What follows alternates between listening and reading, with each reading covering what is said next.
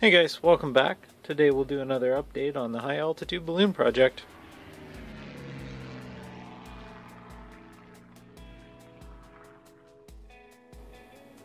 Hey guys, welcome back. Really glad you could join me today.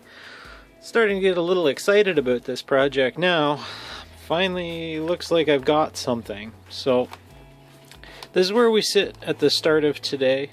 Uh, we have our GoPro in place the Canon with the hack for the still pictures every, I'm not sure, 20 30 seconds, depending on what I decide. Uh, my Arduino data logger with the temperature sensor out here, temperature sensor in there, barometric pressure, storing to SD card, talking to Bluetooth, all working perfectly. My cell phone running uh, GPS tracking as well as text messaging and in the top over here, which I don't have with me right now, is my Spot Trace GPS tracker, which is now working well too. So we're getting somewhere. We finally got something. So this isn't the prettiest, but this is functional. Uh, the lens is retracted on the on the still camera right now, and when it's fully extended, it extends almost completely even with this hole which I've done a really ugly job on the glue. I should really smooth that up, put another layer on. That's just there for a rip stop, and really it's not needed. This nylon is tough. That's our GoPro, again, a little ugly with the gluing. I did the gluing on this one to keep any insulation from creeping down uh, or anything changing position because at this stage, the GoPro doesn't stick out past the edge, it's pretty much flush. If it anything creeps in any further, we catch it in frame in the GoPro. These things are crazy wide angle lens.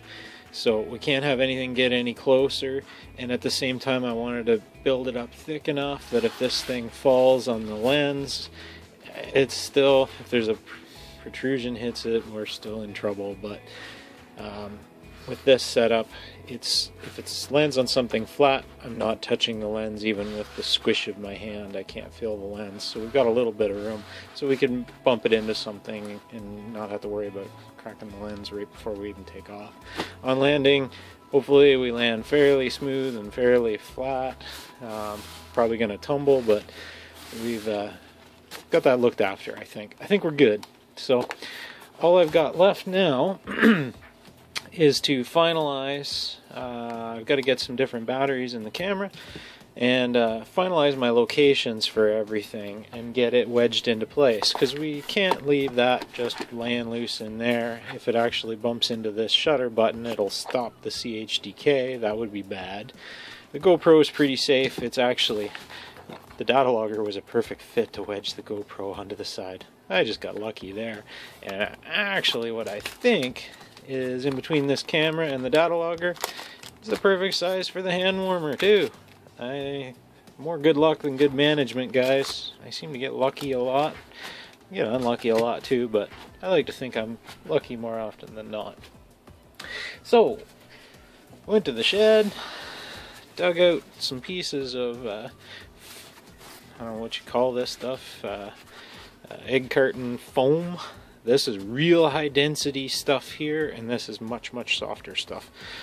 I'll use that to package the, excuse me, package the uh, phone and get it in there where to the point not sure how I'm going to do this yet. We'll figure it out as we go. And it has to be to the point where we still have enough room for this GPS tracker and uh, we don't want to impede that we want to keep everything, minimize the airspace. Uh, more, more than anything, just minimize the airspace. If the less open airspace we have in here, as we go up, the air is going to leave the module. Um, the density goes down to basically nothing. We have very little density at that, that altitude that we're shooting for, and we'll get into that in another video. But as we come back down, we've got to refill this airspace in here. So we're going to get air coming in. That air is most definitely very cold at that stage. So if we can minimize the air exchange by using closed cell foam uh, as much as possible, we have very little air exchange and the heat we apply, which now, FYI, I'm down to probably my first test is only going to be a single hand warmer. I think that's going to be enough, which makes the weight really good. So let's get these packed and uh, see where we end up. So in this case, guys, I think simplest is best. Scrap of foam.